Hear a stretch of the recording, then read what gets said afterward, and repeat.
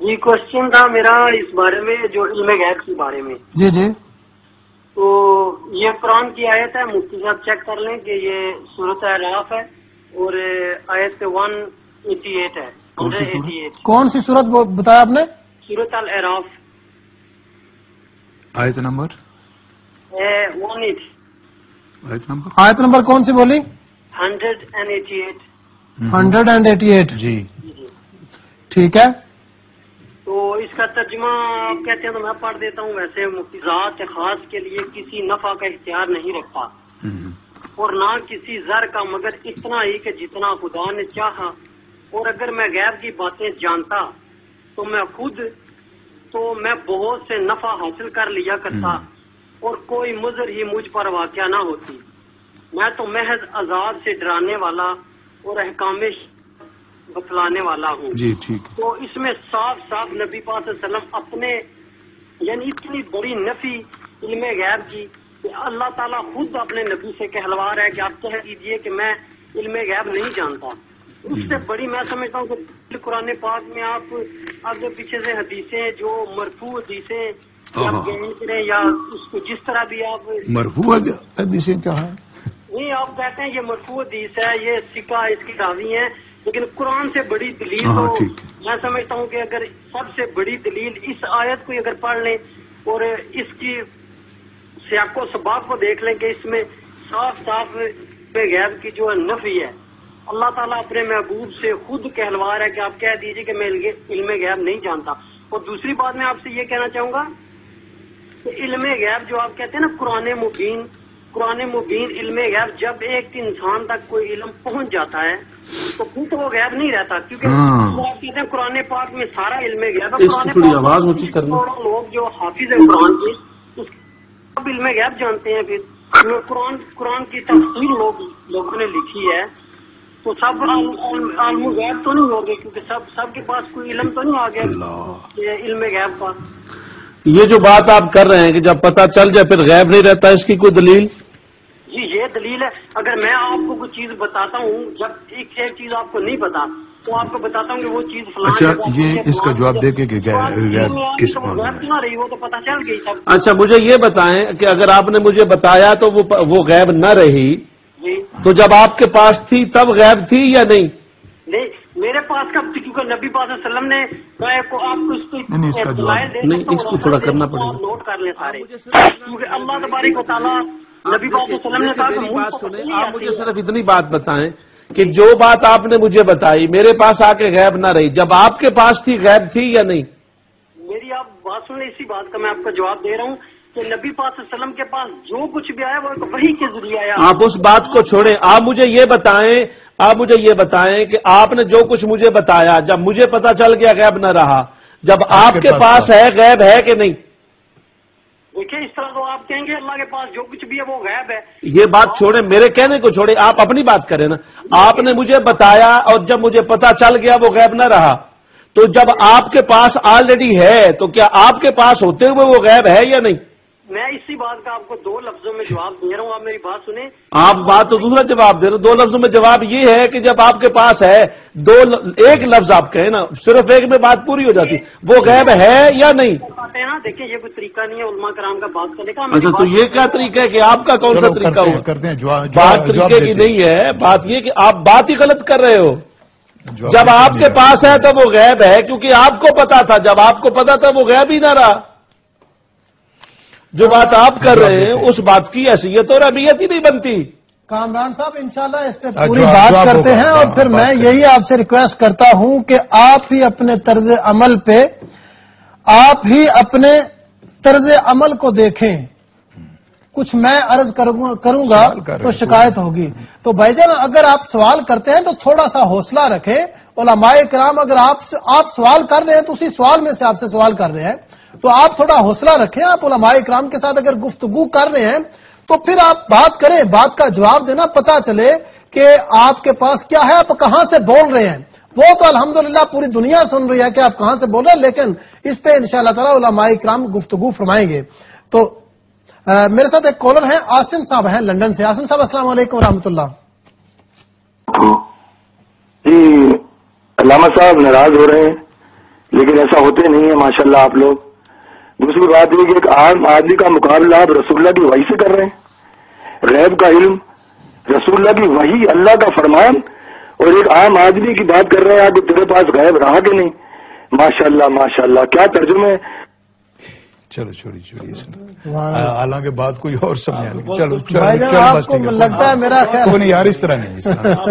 ठीक है ठीक है ठीक है ठीक है ठीक है है। इस तरह नहीं इस तरह नहीं इस तरह। नहीं उसने वही की बात भी की उसने ठीक है, ठीक है, ठीक जब आपको पता चल गया तो फिर गैब जरा तो मैंने उसकी बात की है। वही वाली बात तो कुरान खुद कहता है कि नहीं, ही का हम जो आपकी तरफ़ वही कर रहे हैं ये सारा गैब ही है। ये जो हमने खबरें सवाल कर दिया है, हैं, ही इलैहि हम जो आप पर वही कर रहे हैं ये वही ही गैब है। खुद कुरान कह रहा है। वो तो अभी अलामा हाँ। साहब मेरा ख्याल है उन्होंने सारी। आयतें निकाल के रखी हाँ, इंशाल्लाह इस पे इस पे हज़रत अलामा फराशी साहब इंशाल्लाह बात करते हैं हज़रत इसी सवाल को जरा हाँ। कर लें। जी पहले वो खत्म नबूवत वाली बात। जी, जी। बा- वो तो बिल्कुल खत्म हो गई कि ये हमारा अकीदा है। सहिया है मौजूद है। और वो जो उन्होंने कहा था ना कि रब उन्होंने फरमाया वह मस्जिदी खातिमुल मसाजिद। वो भी माना यही थी कि नबियों की मस्जिदी कहा था कि नबी की मस्जिद मस्जिद नबवी ये आखिरी है। ये नहीं कहा था कि मसाजिद जो दुनिया की है वो सारी मसाजिद की खातिम है अंबिया की मसाजिद में कहा था। समझने की ज़रूरत है ना कि चूँकि मैं आखिरी नबी हूँ तो मेरी मस्जिद जिसको मस्जिद नबवी कहा जाएगा ये आखिरी मस्जिद है। अच्छा इ- इस तरह इसको समझें।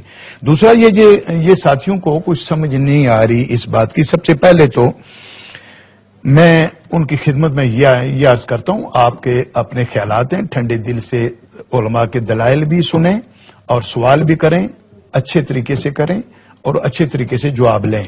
सबसे पहले तो मैं ये पहले जो बात चल रही थी अलामा साबरी साहब ने बड़ी वजात के साथ बयान की थी। मैं ये जो अभी वो कॉलर इल्म गैब पर आए। उनकी तवज्जो के लिए मैं अर्ज़ करता हूँ। सबसे पहले फिर उनके उस सवाल की तरफ़ आता हूँ कि खिजर अलैहिस्सलाम के बारे में रब ने ये कहा है कि नहीं? कि वह अल्लमनाओ मिल्ला दुन्ना इल्मा व अल्लमनाहो मिल्ला दुन्ना इल्मा। ये वो बंदा है कि जिसको हमने अपनी तरफ़ से इलम दिया। ये इलम है। इलम का लफज आया है। और फिर इसकी तफसीर इबन जरीर देखिए। तबरी। तफसीर इबन जरीर तबरी की तो सब सारे लोग अथॉरिटी मानते हैं ना। उसमें लिखा है कि जाल का रजुल ये यानी खिजर अलैहिस्सलाम वो मर्द है। वो फर्द है वो मर्द है। जाल का रजुल या अलमो इल्म लगाए या अलमो का लफज है। जाले का रजोलो या अलमो इल्म गैबे। ये वो बंदा था जो इल्म गैब जानता था।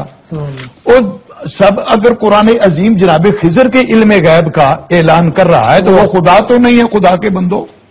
और दूसरी बात कुरान अजीम की आयात आपके सामने पढ़ चुके हैं हम। आलिमुल गैबे फला यूजेरो अला गैबे। ही वो आलिमुल गैब अल्लाह फला यूजेरो अला गैबे। ही किसी को अपने गैब पर गैब पर तसल्लुत नहीं देता मुसलत नहीं करता।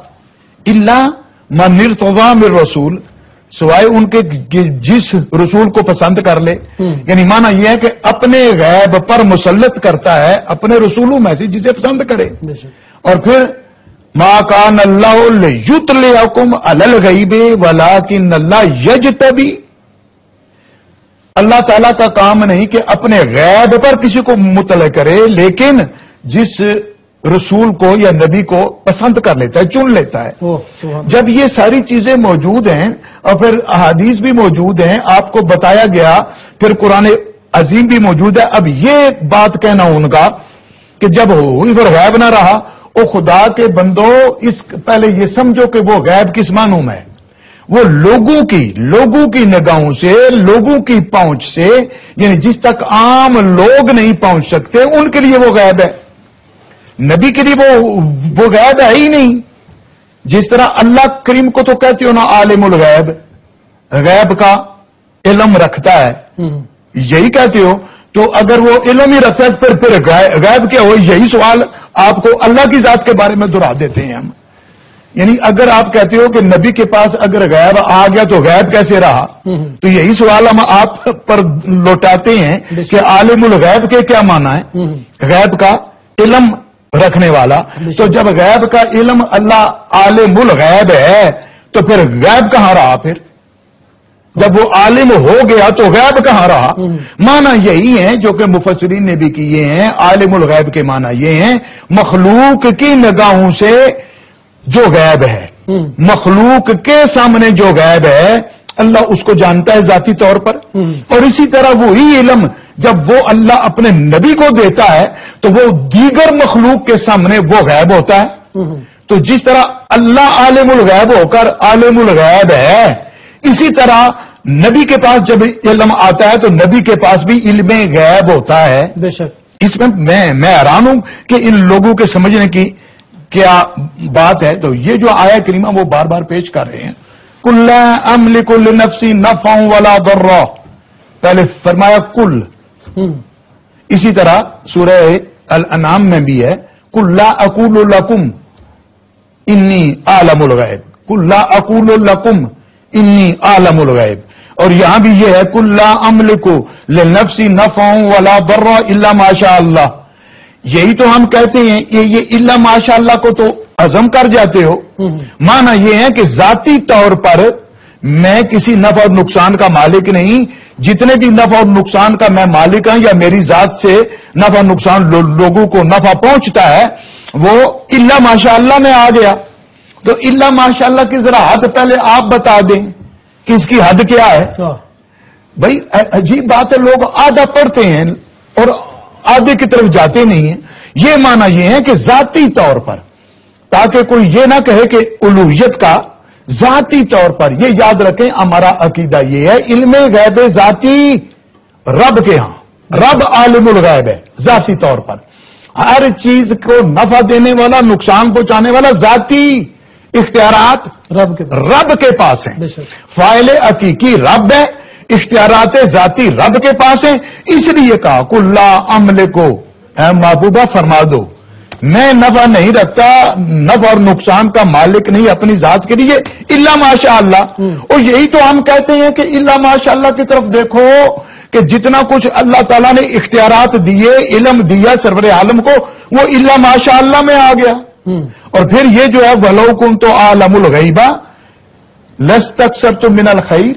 मैं बड़ी खैर जमा कर लेता मैं मैं इनसे सवाल करता हूँ क्या नबी पाक सर्व आलम की जात से खैर दूर थी? हज़रत वो खैर कौन सी खैर थी जो कि बारगाह मुस्तफ़ा में नहीं थी?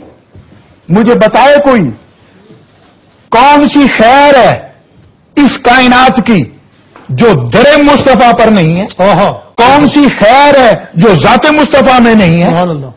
पहले बात को समझने की कोशिश करो।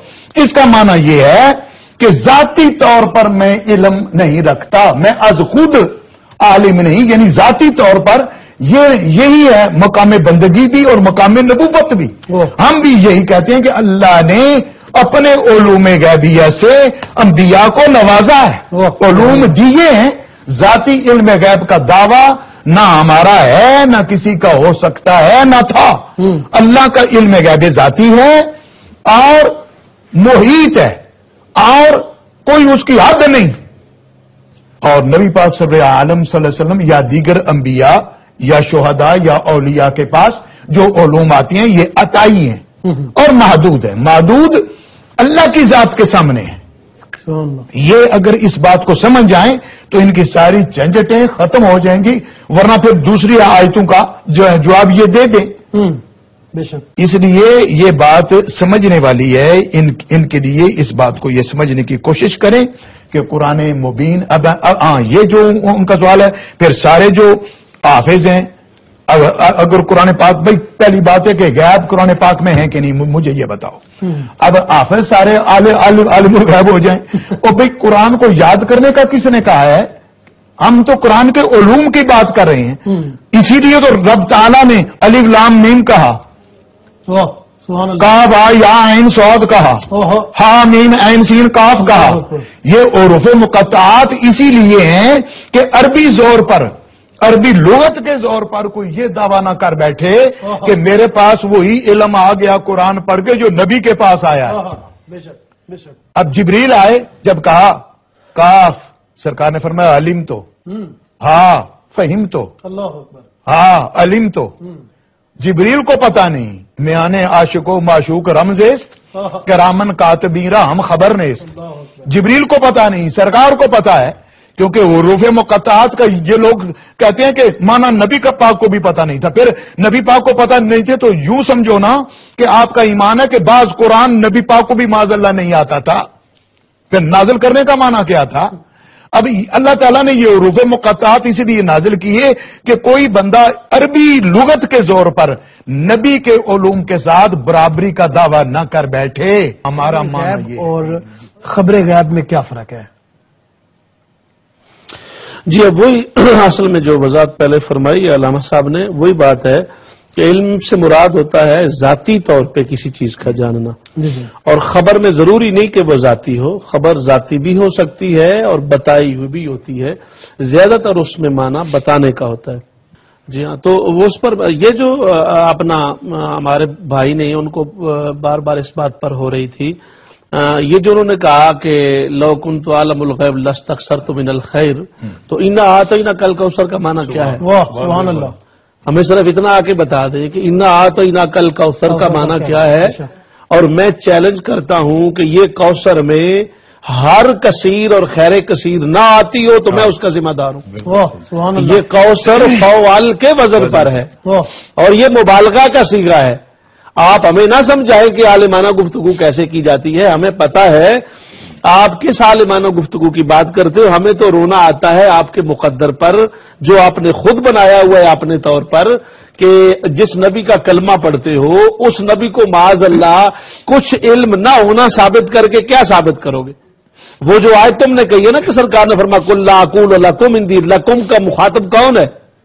लकुम जो कुम की जमीर है, वो किसके लिए बोली गई? वो कुफार के लिए बोली गई? वो मुशरकिन के लिए बोली गई? वो मुनाफिकीन के लिए बोली गई।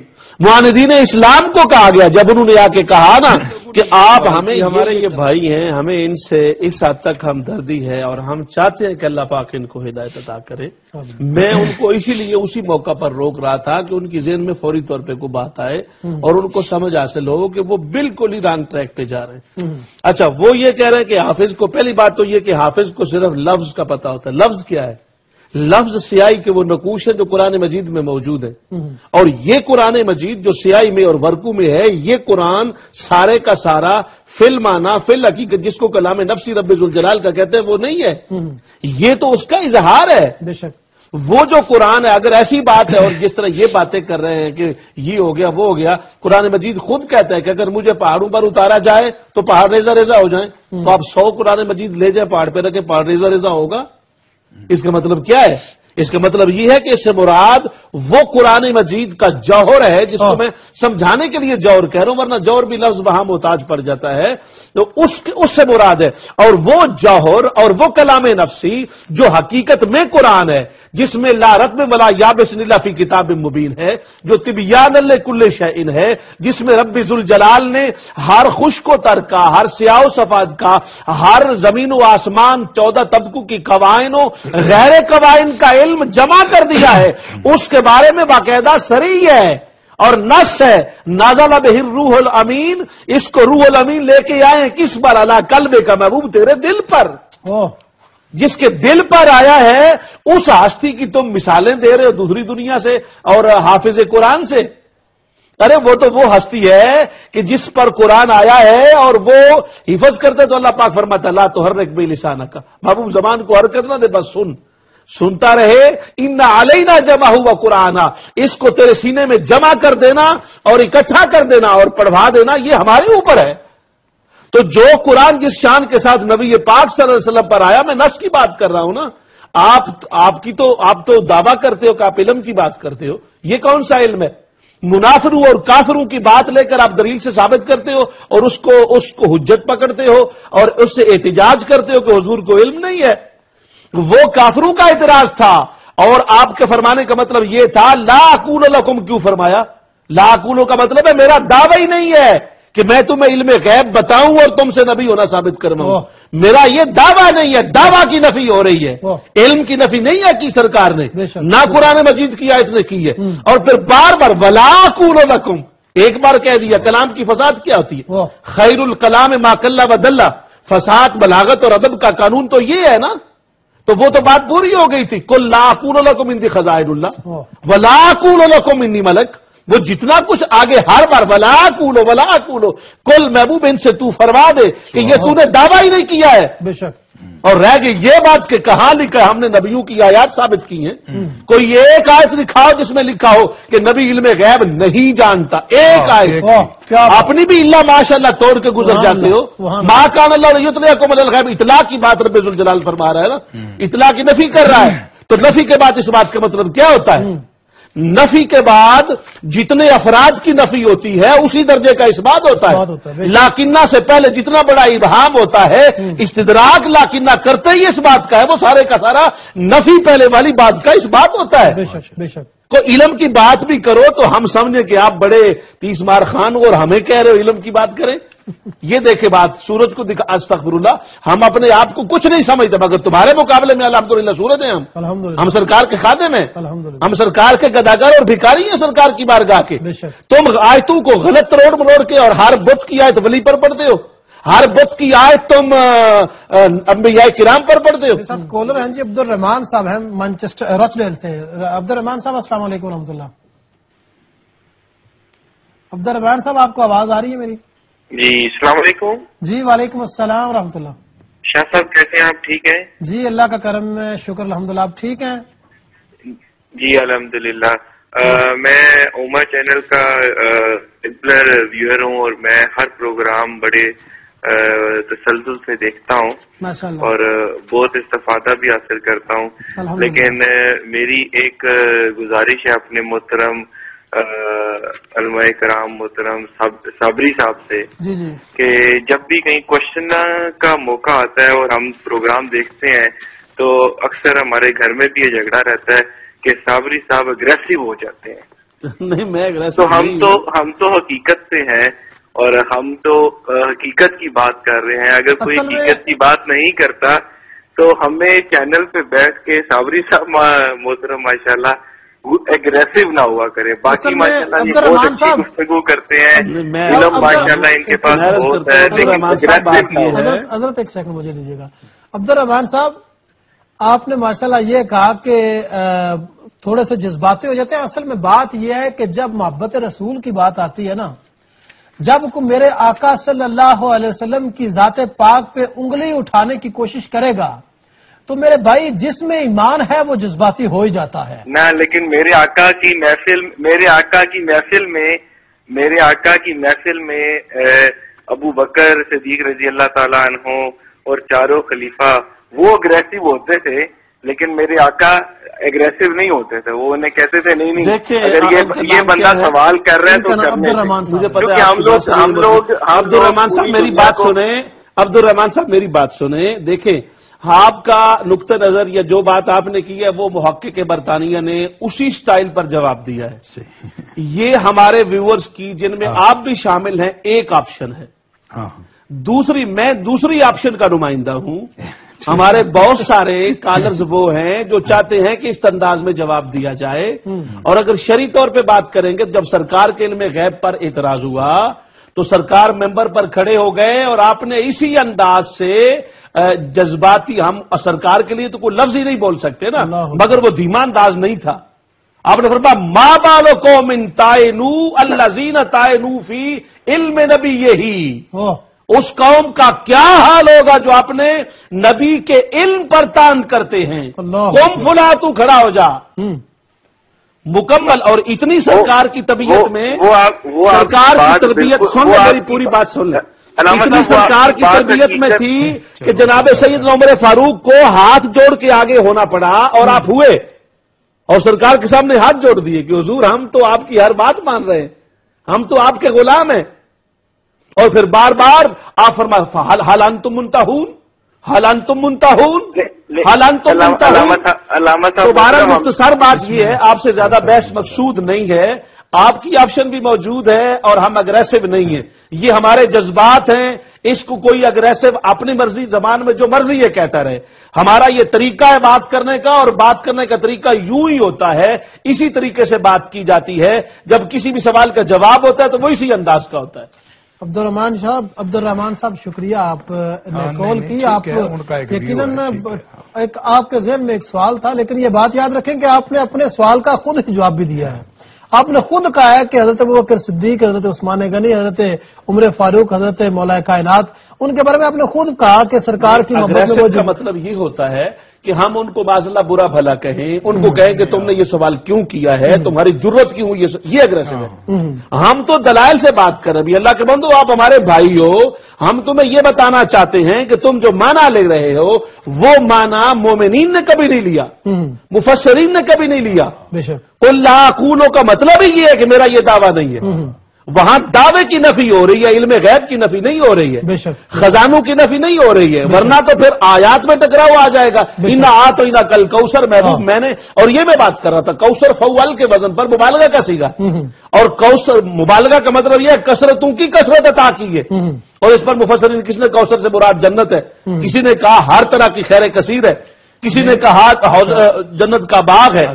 सब के देखिए ने बड़ी खूबसूरती से आपने फरमाया मैं यूतल हिकमत फकद ऊतिया खैरन कसीरा। कि जिसको अल्लाह ताला हिकमत देता है उसे खैर कसीर देता है। तो कौन सी एकमत जाते मुस्तफ़ा में नहीं थी? बेशक। यही तो बात समझने वाली है। हज़रत उसके अलावा भी हम ये समझते हैं कि क्या हज़रत कतादा की निकली हुई आँख सरकार ने ठीक नहीं की? चलो अलामा साहब की बात आपको मुश्किल लगे कि नहीं हिकमत और पता नहीं की शय हो गई है कि क्या हज़रत कतादा की निकली हुई आँख आपने अंदर नहीं डाल के उसको ठीक किया? हाँ। क्या आपने बिल्कुल अंधे शख्स की बिनाई को वापस नहीं किया है? आपने हज़रत जाबिर के बेटों को ज़िंदा नहीं फरमाया है? आपने ऊंटनी से बातें करके उस ऊंटनी का हक उसको वापस नहीं दिलवाया है। आपने चिड़िया से बातें करके उसकी फरियाद को नहीं सुना है। उसको जो उसने मांगा वो अता नहीं फरमाया है। हतबू हुरैरा ने जब काम है वो हदस बनना चाहता हूँ, हदीसें लिखना चाहता हूँ, आता जाता अब कुछ नहीं, पढ़ा हुआ जो नहीं हूँ। तो क्या सरकार ने चुल्लू भर के उसको दिया नहीं है। हज़रत रबिया के सवाल का जवाब नहीं दिया है हतबू हुरैरा ने फरमाया कि मेरी वालदा हजूर मेहरबानी फरमाए मेरी वालदा इस्लाम कबूल कर ले फरमाया जा तेरे घर जाने से पहले तेरी वालदा इस्लाम के लिए तैयार हो चुकी है। रबिया को जब कहा कि सल तो क्या कह के कहा मांग। साल तो जवाब मतलब? में जवाब में ये नहीं कहा जनाब रबिया ने कि सालतुल्ला मैं अल्लाह से माँगता हूँ। क्या कहा? सालतू का। नबी पाक के इल्म गैब पर एतराज़ सबसे पहले मुनाफिक ने किया है काफिर ने नहीं किया। बेशक। मुनाफिक ने एतराज़ किया है कि सरकार ने जब फरमाया कि क्यामत तक के हालात के बारे में मैं बता सकता हूँ तो मुनाफिकीन जो बैठे हुए थे बाहर निकले और कहा कि हम सामने बैठे होते हैं हमारा पता नहीं। हम्म। और कहते हैं कि क्यामत तक। उस वक्त फिर जो अलामा साबरी साहब ने हवाला दिया था सरकार ने फरमाया माँ बालो अकवामिन सुभान तानो फ़ी इल्मी। उस कौम का क्या हाल होगा जो मेरे इल्म पर नज़र नहीं करती? हम्म। पूछो जो पूछना है। उस वक्त हज़रत अब्दुल्ला इबन होजाफा ये हदीस में अल्फाज हैं कि खड़े हो गए। मन अभी या रसूल अल्लाह हम्म। अब मुझे आप बताएँ कि किसी का बाप होना कि मेरा बाप कौन है ये गैब है कि नहीं? तो सरकार ने ये नहीं फरमाया ना ना ये मैं नहीं जानता। मैं तो शरीयत बताने के लिए आया हूँ। फरमाया अबू का होजाफा तेरा बाप होजाफा है। क्योंकि बाज लोग उनका रंग गोरा था। उनके वालिद का जरा सांवला था तो इसलिए वो शक करते थे। तो उन्होंने इसीलिए पूछा जब सरकार ने पूछा ना क्या तक के लिए पूछो? सरकार ने तो अर्ज़ की मन अभी मेरा अब्बा कौन है? यहीं से पता चला कि सियाबी का ईमान क्या था। क्या बात अच्छा। मुनाफिक ने इल्म गायब पर एतराज़ किया। काफिर ने नहीं काफिर ने किया। किया। काफिर ने किस तरह? अबू जाल ने मुट्ठी में कंकर रखे। हम्म, कंकर रख कर ये सबको पता है कहा कि गर रसूली चीस्त दर दस्तम नेहा। अलामा रूम कहते हैं कि उसने कहा कि अगर आप मेरे रसूल हैं तो बताएँ कि मेरी मुट्ठी में क्या। क्या माना? माना यह कि अबू जाल भी मानता था कि अगर रसूल हैं तो जो कुछ मुट्ठी में है जो जो कुछ है ये गायब है। हम्म। गैब का माना वहाँ आँख देख नहीं सकती। तो जो मुट्ठी में है वो जानते हैं अगर रसूल है। यानी काफिर ने रसूल नहीं माना। हम्म। रसूल नहीं वरना रसूल नहीं माना। वरना वो वो मानता था ये मानता है कि अगर रसूल है अगर तो रसूल है तो गैब जानते हैं। जानता है। सरकार ने फिर फरमाया कि मैं बता दूँ या वो बोल पड़े। हाँ हाँ, क्या बात वाह तो ये। और लेकिन मुनाफिक ने कहा हम बैठे हुए हैं तो हमारा पता नहीं तो कहते हैं क्या मत तक का मैं इलम रखता हूँ। तो इसलिए ओलमा लिखते हैं कि सबसे पहले इल्म गैबे नबूवत पर। एतराज़ मुनाफिक ने की है काफिर ने नहीं किया।